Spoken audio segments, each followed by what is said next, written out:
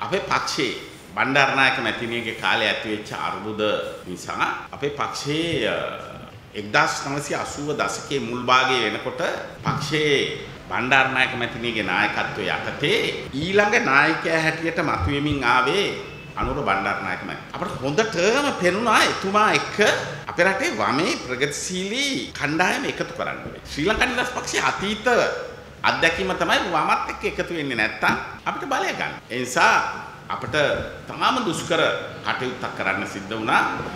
අනුර පක්ෂයෙන් එළියට දාලා මැතිණියගේ ආදරණීය පුතා පක්ෂයෙන් ඉවත් වෙලා හිටපු චන්ද්‍රිකා මැතිණිය පක්ෂයට ගේන. අපි ඒ දුෂ්කර කටයුත්ත කරා. ඒ දුෂ්කර කටයුත්ත කරනවත් එක්කම වමේ පෙරමුණක් හැදුනා. ඒකම අවුරුදු 19 17කට පස්සේ අපි එක්සත් ජාතික පක්ෂේ පරාද කරලා අපි අපේ රජයක් අපේ ජනාධිපතිවරයෙක් පත් කරගත්තා. අදත් මේ රටේ තියෙන්නේ ඒ ගත්ත ජයග්‍රහණය තමයි මේ අදත් ඉස්සරහට ඇදීගෙන යන්නේ. ඒ නිසා ඔබතුමාලාට අපි කියන්න කැමති අද මෛත්‍රීපාල සිරිසේන මැතිතුමා අගමැති රනිල් වික්‍රමසිංහ මැතිතුමාගේ ඉල්ලීම අනුව අලුත් කැබිනට් එකක් පස් කරලා තියෙනවා. අපි හිතනවා එතුමාලා ඉක්මනින් ප්‍රෝටෝන් account එකකින් මේ කෙටි කාලීන අවශ්‍ය වියහියදම් අනුමත කරගනි කියලා ඒකට අපි ඒ අයට උදව් කරනවා. ඒ වගේම ඉක්මනින් අයවැය ලේඛනයක් ගෙනයි කියලා හිතනවා.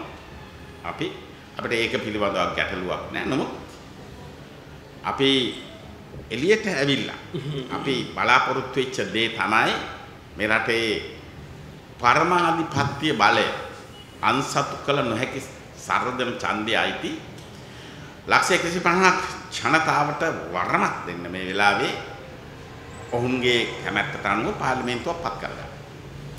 ඒ අවස්ථාව අපට පැහැර හැරුණා. දැන් අපට ප්‍රමාද වෙමින් තියෙන පළාත් සභා ඡන්දේ තියෙනවා අපිට ඉතා ඉක්මනින් ඒ පළාත් සභා ඡන්දය අවශ්‍යයි. ඒ වගේම මේ අවුරුද්ද අවසන් වෙනකොට ජනාධිපති මැතිවරණේ තියෙනවා. අපි ඒකට සූදානම් වෙනවා.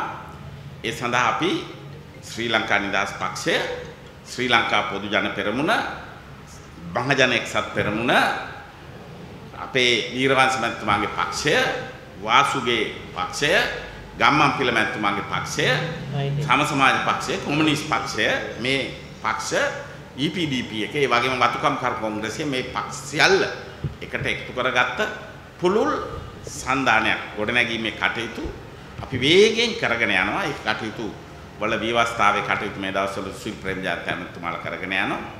අපි ඒ හරහා මේ රටේ ජනතාවට ආදරය කරන මේ රටේ රටට ආදරය කරන දේශීයත්වයට ජාතිකත්වයට ආදරය කරන අපේ ලාංකික රජයක් බිහි කර ගැනීමට ඊටාම නොදුරේ කටයුතු කරන බව ඔත්පාලට කියන්න කැමතියි.